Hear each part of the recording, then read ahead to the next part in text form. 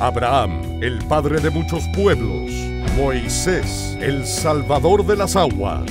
Y sus historias bíblicas serán presentadas por Teleéxitos